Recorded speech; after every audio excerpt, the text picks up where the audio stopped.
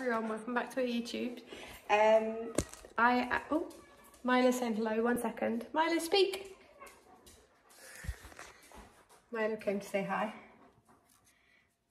Saying hi. Um, I am about an hour and a half, what is this hat doing, into grooming Niko. If you can see that there, I'm gonna flip the camera so it'll be better quality in a second. Um, my arm's already killing me. It's a workout to say the least. Um, Milo's really talkative tonight. Say hi Milo. You need a groom as well while we're at it. Um, and yeah, I thought I would just show you what it's like when your dog starts to shed. I've done a few of these videos before and everyone loves them. Um, they love the fact that I do it in the kitchen as well. I think that really grosses people out. Um, look at just just for everybody that does get grossed out by this that is a lot that's another dog. Let me just i don't think you can appreciate them this is only like 50 percent of what's going to come out of nick's as well. But it's a lot of her. In shed season and i need to do teddy at some point but i honestly don't think i have the energy tonight to do teddy too. But yeah this is what is out of Niko so far. And um honestly i'm procrastinating let's be honest. I don't want to continue it but I'm nearly there with her, so I feel like if I just push ahead, then at least that's one dog down. Another one to go. You're going to be done tomorrow. Yay. But yeah, I thought I'd show you. Um, if you do have a Malamute, a Husky, or any dog with an undercoat, then I'd highly recommend a rake brush if you don't know. Um, it looks like this. And it basically just gets in under the um, where the like matting can be when you've got the undercoats pulling out and that's what gets all the bits out. And yeah this is the best comb you can buy. Actually to get another one because this one is like falling apart. It pulls out of itself now. So um, am I gonna get a kiss? Thanks Milo. Cool on camera he does it all the time. Um oh yeah also a cat on a worktop. People are gonna be having a fit Milo Anyway, back to what this the purpose of this video. We're like two minutes in and I've not even got into it. Brushing Niko. She's shedding massively and I've left it for about a week to get as much out as possible.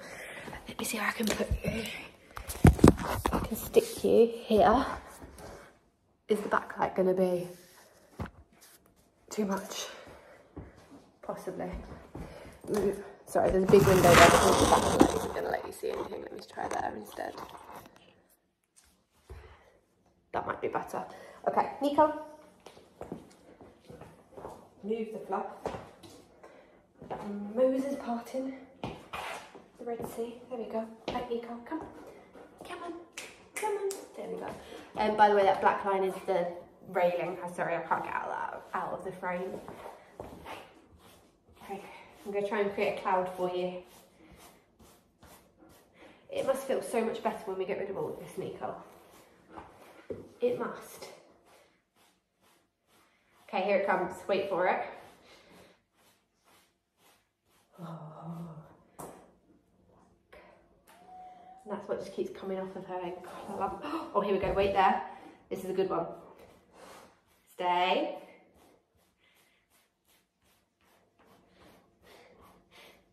Yeah, it's showing.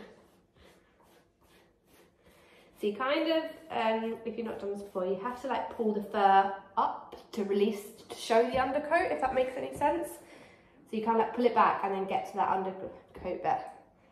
Oh.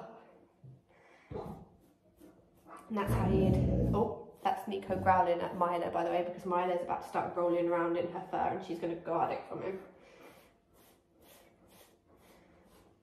Yeah. Is that nice?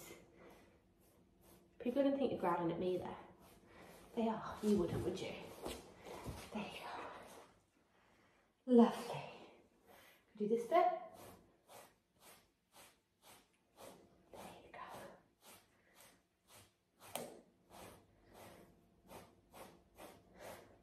that's a good spot there. Good girl. Look at that. Look at that belly as well. There Oh, you can see underleg. There you go. Is there any here? Yes.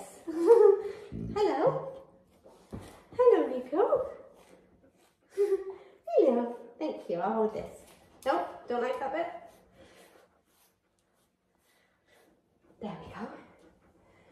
There you go. Who's a good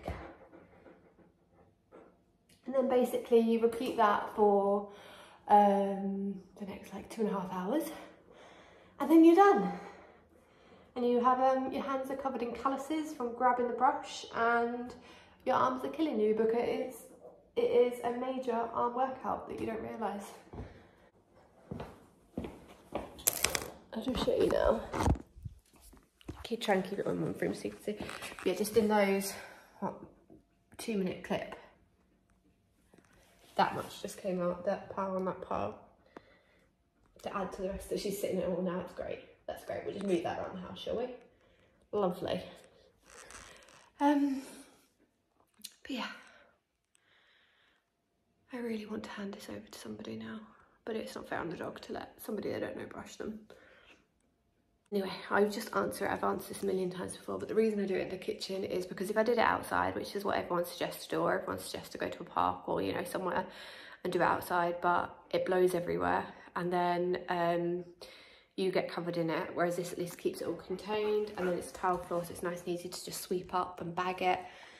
Um, so that's why I do it inside. And also it, it takes hours, this job, it so I don't want to be sitting outside for hours. I'll get cold. I'd rather just stick the iPad on get distracted and just get to work um, and deal with the cleanup thereafter. I do it once the kids go to bed most of the time, depending upon the situation. But yeah, that's why we do inside. So yeah, thank you for coming to join my group. If you have any questions, please let me know.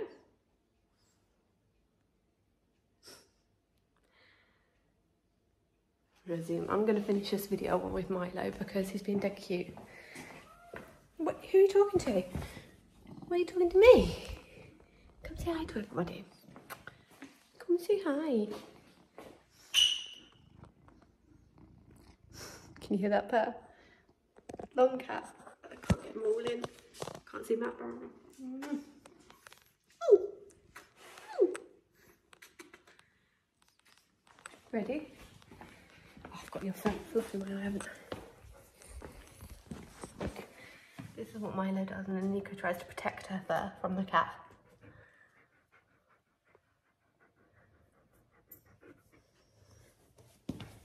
Where's it, Milo?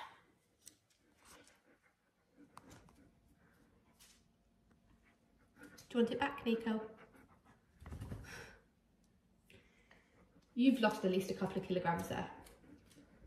She's off. Milo's sitting on it now. Anyway guys, thank you so much for watching and we'll see you in the next video. Bye everyone.